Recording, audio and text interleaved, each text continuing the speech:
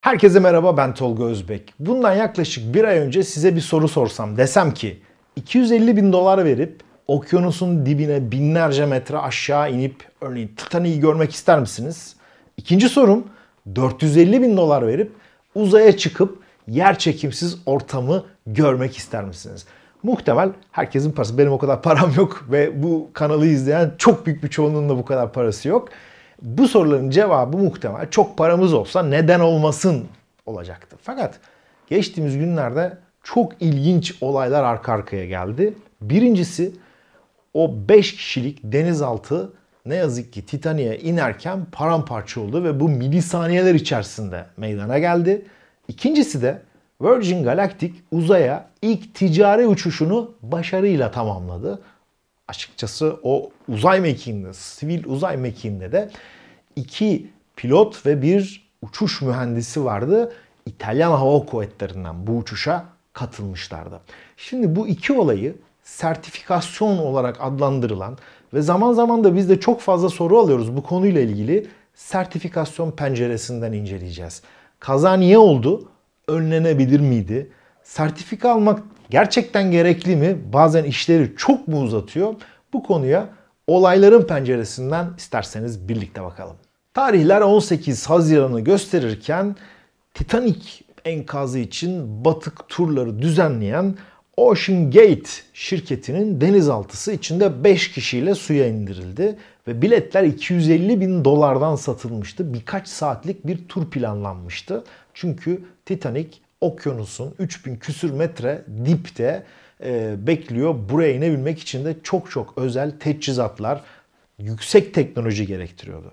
Denizaltının içinde Ocean Gate şirketinin kurucusu ve CEO'su Stockton Rush da vardı.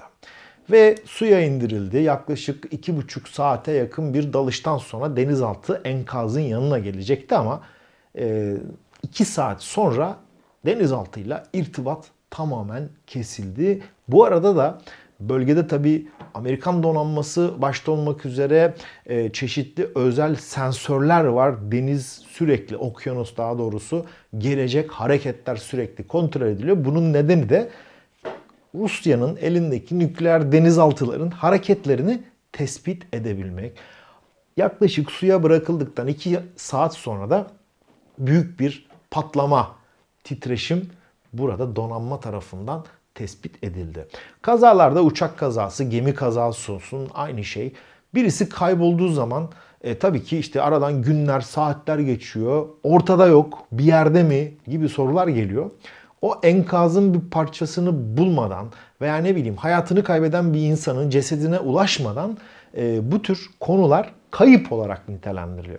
Biz de o dönemde haberimizi yaptığımız zaman, sizlerle videomuzu paylaştığımız zaman kayıp olarak, denizaltıyı kayıp olarak nitelendirmiştik. Fakat birkaç saat sonra bölgeye Amerikan donanmasının işte o denizaltı kurtarma ekipleri, çok özel derinliklere inen denizaltıları, kurtarma denizaltıları bölgeye sevk edildi ve Titanic enkazının yaklaşık 500 metre yakınında Ocean Gate'in patlamış, parçalara ayrılmış denizaltısı tespit edildi ve tabii ki o e, derinlikte kurtarmak insanları mümkün değil çünkü patlama milisaniyeler içerisinde gerçekleştiriyor ve herhangi bir şey yapmadan o anda hayatlarını kaybediyorlar ve bu 5 kişinin öldüğü açıklanmıştı. Burayla ilgili tabii ki konu çok gündemde olunca birçok gazeteci, birçok araştırmacı bu konuya eğilmeye başladı ve denizaltı ile ilgili geçmişte birçok raporun hazırlandığı ve bu denizaltıda teknik problemlerin olmasına rağmen tabiri caizse gündeme getirilmediği, sümen altı edildiği ortaya çıktı. Denizaltıya da çok kişi binmişti ve onlarla da imzalanan e, çeşitli sözleşmelerin örnekleri de ortaya konmaya başlandı. Bunu bir deneysel yapıda bir denizaltı olduğu ifade ediliyordu ve şirket herhangi bir oluşacak teknik sorunlar, kazalardan herhangi bir sorumluluk kabul etmiyordu. Bu gerçekten çok ilginçti. Şimdi ben tabii ağırlıklı havacılıkla ilgili, savunma sanayiyle ilgili videolar yaparken bu konuya doğru böyle bir neler yapılmış diye araştırdığım zaman denizaltının deneysel sınıfta olduğu, bu derinliğe inebilecek çok özel bir tasarıma sahip olduğu ve şirketin sahibinin de Rush'ın da e, bir havacılık geçmişi olduğunu tespit ettim. Ve bu denizaltı ile ilgili araştırmalara bak e, başladıkça e, denizaltının dış yüzeyinin karbon fiber ve bir titanyum yapıyla birlikte inşa edildiğini gördüm. Zamanla yapılan dalışlarla çünkü bu 3000 küsür metreye inebilmek inanılmaz yüksek teknolojiye sahip araçların, çok dayanıklı araçların yapılması gerekiyor. Basınç farkları çok e, acayip miktarda ve adeta orada yapılacak küçük bir hatada nasıl kutu kolaları öyle buruşu veriyor o şekilde kaybetmek mümkün ve bu derinlikler gerçekten çok çok tehlikeli. İşte yukarısıyla aşağısının farkları, sürekli genleşmeler, büzüşmeler bir şekilde yapısal bir hasar oluşturuyor ve tüm uyarılara rağmen bu denizaltı seferlerine devam ediyor ve sonuçta da işte gördüğünüz gibi bazı şeylerin şakası olmuyor ve bu kaza meydana geliyor. Kazadan hemen sonra da Virgin Galactic bir ilk ticari uçuşunu uzaya başarıyla tamamladı. Ve insanların aklına bir fikir geldi. Dediler ki ya bir tarafta 250 bin dolar verip dalıyorlar. Bir tarafta Virgin Galactic adam başına 450 bin dolara uzaya uçak bileti satıyor. Peki ne, nedir bunların farkları diye ortaya konulmaya başladı. Buradaki en büyük fark bu bir hava aracı olduğu için Virgin Galactic'in FAA olarak adlandırılan Federal Havacılık Dairesi'nden çok ciddi bir sertifika sürecinden geçmiş olması. Aslında uzaya uçuş şu şekilde oluyor. İki gövdeli devasa bir uçak var. Taşıyıcı uçak. Bu uçağın altına geliştirilen içinde astronot adayları diyelim astronotların olduğu mekiği taşıyan gövdenin altına konuluyor bu. Ve White Knight olarak adlandırılan bu taşıyıcı araç 45 bin fit yani yaklaşık 13 bin metreye yakın bir 12 bin 13 bin metreye yakın bir irtifa yükseliyor. Yükseldikten sonra mekik gövde altından bırakıyor. Mekik roket motorlarını ateşleyerek yüksek irtifaya çıkmaya başlıyor. Burada çıkılan yükseklik yerden tam 80 kilometre yani 80 bin metre buraya tırmanış gerçekleştiriliyor ve yer çekiminden kurtulunuyor. Arkasından izlenen rota doğrultusunda belirli bir süre uzayda kalındıktan sonra tekrar dalış manevrasıyla birlikte atmosferin katmanlarından yer çekimli ortama doğru mekik geçmeye başlıyor. Ve yaklaşık havalandıktan işte 90 dakika sonra bu uçuş yapılan meydana inişle tamamlanıyor. Şimdi ben çok net hatırlıyorum 2000'li yılların başındaydık. Price X diye bir e, yarışmaya bir sponsorluk kondu ve çok ciddi bir ödüllü bir yarışmaydı. O yarışmada hedef sivil olarak, insanlı olarak bir hava aracının uzaya doğru götürülmesiydi. Ve bu tasarım kazanarak bunu gerçekleştirerek büyük ödülün sahibi olmuştu. Tabi bu çalışmaların hepsi deneysel.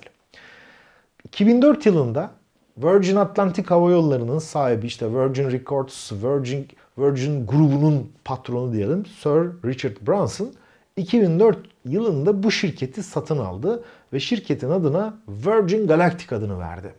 Aynı Virgin e, hava yolları gibi bu hava aracının uzaya ticari anlamda yolcu taşıması için çok ciddi bir kapı açıldı. Şimdi bu anlattığım bundan neredeyse 20 yıl önce 2004 yılından bahsediyoruz.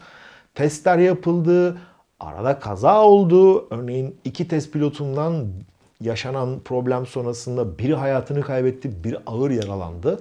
Ve sonrasında her şey hazırlandıktan sonra 2016 yılında bu testler Virgin grubu tarafından bitirildi ve FAA sertifikasyon süreci için davet edildi.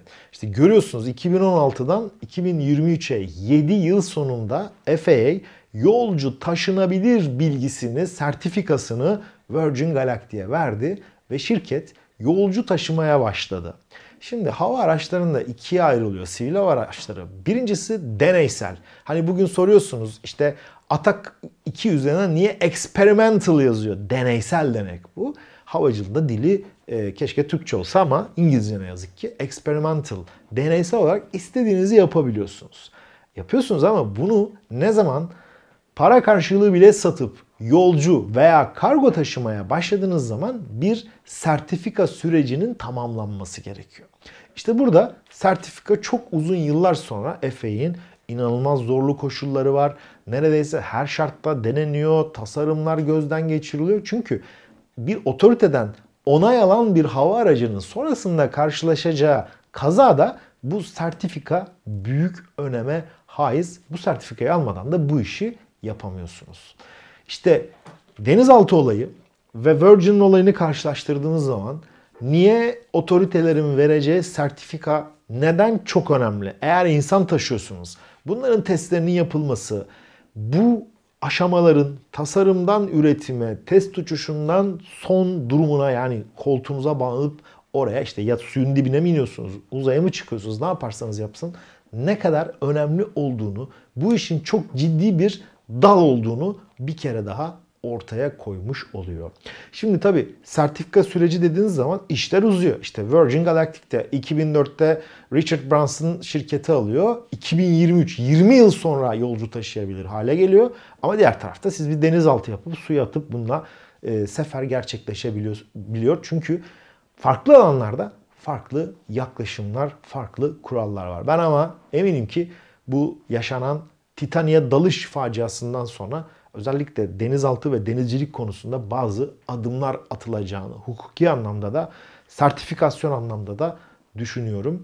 Ee, bir taraftan da işte sizlere haber yapıyoruz. İşte şu uçak uçtu, şu helikopter göreve gidiyor, şu mühimmat var. İşte her şeyin sivil olsun askeri olsun bir sertifikasyon süreci var. Bir otoriteden izin alma süreci var. Bunların hepsi hem oradaki görev yapan insanlara veya ticari ise sivilse ona binenlere veya etraftakilere daha az e, hasar verebilmek, başına bir talihsizlik geldiği zaman çevreye olan etkilerini azaltmak üzere. Evet iki olaya şöyle bir sertifikasyon sürecinden baktık. Görüyorsunuz sertifikasyon işi çok uzun. İşte bazen haber yapıyoruz işte milli muharip uçak. E niye bu bu kadar uzun sürüyor? İşte Hürkuş uçağı, Hürjet uçağı veya Gökbey helikopteri. Neden bu projeler bilmem kaç yıl sürüyor da tamamlanamıyor? Amaç sertifikasyonla bunu bilimsel olarak yere basmasını sağlamak, bilimsel olarak düzgün planlamadan gidebilmek ve sonrasında da yapılacak tasarımlara da bir şekilde yol açabilmek.